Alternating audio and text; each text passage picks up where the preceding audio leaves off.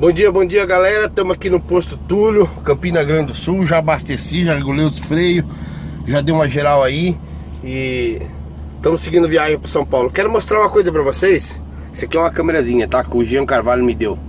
É para uma eventualidade, um flagrante, ela fica filmando. Sabe o que, que é isso aqui, galera? Parece um comprimidinho, né, mas não é, ó. Ele é menor que um grão de arroz. Isso aqui é polietileno, isso aqui é matéria-prima do plástico. Com isso aqui você fabrica qualquer coisa, seringa, mamadeira, litro, é, qualquer coisa que tenha plástico você pode fabricar com isso aqui. Esse é o famoso polietileno. O pessoal às vezes vê falar, ó, uma carga de polietileno tal, e não sabe o que, que é. É isso aí, ó.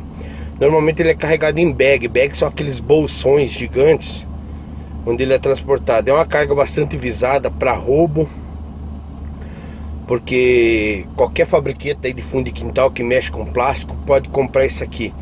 Então esse aí é o tal polietileno. Eu catei ele no chão ali, que provavelmente vazou de algum algum bag aqui no posto, para mostrar para vocês. É uma carga bastante visada pelos ladrões, de fácil comercialização e um valor comercial substantivo.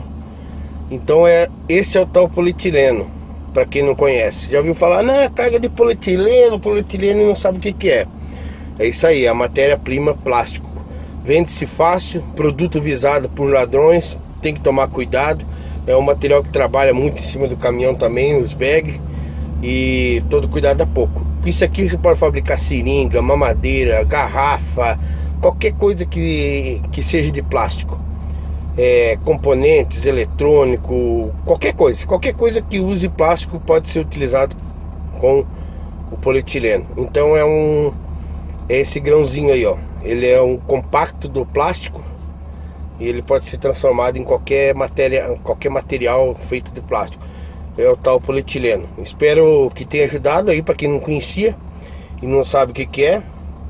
é. É uma carga também de valor, fácil comercialização e muito visada pelos ladrões. Então, toda vida que carregar polietileno, tomar cuidado e ficar esperto. Valeu, galera. Vamos seguir viagem aí. Já abastecemos aí e vamos embora. Então, para quem não conhecia, ficou conhecendo aí o tal polietileno. Beleza?